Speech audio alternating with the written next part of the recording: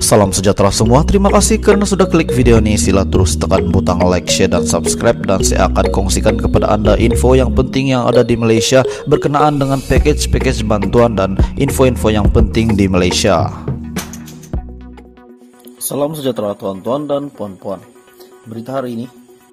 Daripada Sinar Harian Kontroversi surat cinta RM 50.000 Minggu lalu, gegak gempita satu negara gara-gara kompon RM50.000 yang dikenakan ke atas individu dan para peniaga yang melanggar prosedur operasi standar.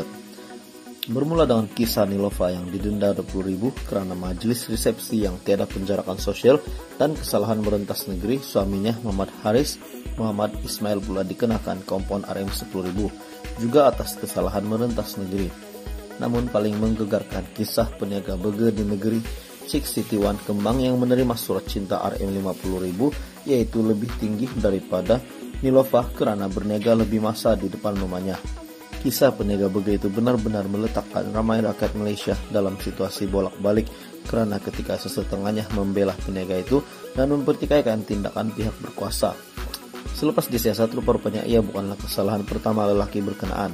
Bagaimanapun, selain peniaga begitu, penguatkuasaan ketat SOP di Kelantan menyebabkan beberapa peniaga kecil lain seperti pemilik kedai runcit turut menerima surat kompon RM 50.000. Walaupun Pak Menteri sudah beberapa kali mengatakan jumlah kompon itu boleh dikurangkan dengan rayuan, namun tanyalah mana-mana peniaga kecil menerima surat cinta RM 50.000 boleh membuatkan sesiapa saja pasti susah hati. Bekas timbalan Menteri Kesehatan Dr. Lee Bunci menyifatkan kompon 50.000 yang dikenakan secara sama rata ke atas semua peniaga adalah tidak wajar karena terdapat berbagai jenis peniaga dan usahawan ada yang berpendapatan besar ada juga sekadar bisnis balik modal Terima kasih karena sudah menonton video ini. Sila terus tekan butang like, share, dan subscribe. Dan saya akan terus memberikan info yang terbaik di video yang seterusnya. Terima kasih.